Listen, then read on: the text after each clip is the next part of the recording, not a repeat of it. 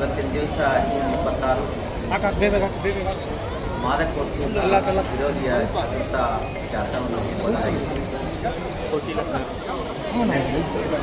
US ಸಬಲೀಕರಣ ಮತ್ತು ಅಬ್ಕಾರ್ ಇಲಾಖೆ ಇನ್ನೂ ಅನೇಕ ಸಂಘ ಸಂಸ್ಥೆಗಳ ಸಹಯೋಗದಲ್ಲಿ ಮಾನ್ಯ ಉಪಮುಖ್ಯಮಂತ್ರಿಗಳಾಗಿರ್ತಕ್ಕಂಥ ಡಿ ಕೆ ಶಿವಕುಮಾರ್ ಸಾಹೇಬರು ಆ ಜಾಥಾವನ್ನು ಉದ್ಘಾಟನೆಯನ್ನು ಮಾಡಿದರು. ಹಾಗೇನೆ ಯುವ ಸಬಲೀಕರಣ ಮತ್ತು ಕ್ರೀಡಾ ಇಲಾಖೆಯ ಸಚಿವರಾಗಿರ್ತಕ್ಕಂಥ ಸನ್ಮಾನ್ಯ ನಾಗೇಂದ್ರ ಸಾಹೇಬರು ಭಾಗವಹಿಸಿದರು.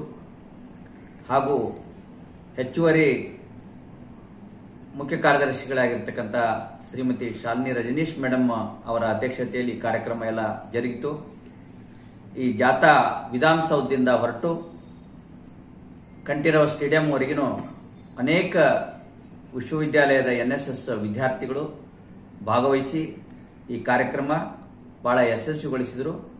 ಅಬ್ಕಾರಿ ಇಲಾಖೆಯ ಬೆಂಗಳೂರು ನಗರ ಜಿಲ್ಲೆಯ ಎಲ್ಲ ಅಧಿಕಾರಿಗಳು, ಸಿಬ್ಬಂದಿ ವರ್ಗ ಸಹಿತ ಇದರಲ್ಲಿ ಭಾಗವಹಿಸಿ ಈ ಜಾಥಾವನ್ನು ಯಶಸ್ವಿಗೊಳಿಸಿದ್ದಕ್ಕಾಗಿ ಎಲ್ರಿಗೂ ಧನ್ಯವಾದಗಳು.